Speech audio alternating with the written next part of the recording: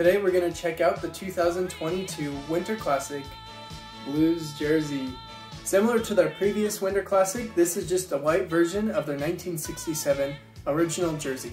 If you've never been up close to a Winter Classic or the Heritage jersey, the Blues have a nice chain stitch here, which I love. The other thing which is unique to Winter Classics is that this logo is felt. It can be kind of hard to tell what the off-white looks like, so there it is compared to a normal white jersey.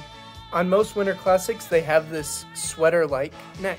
I absolutely love this Winter Classic, but I have one complaint. In the Blues jersey, they put a little design here, but for whatever reason, they didn't put anything here.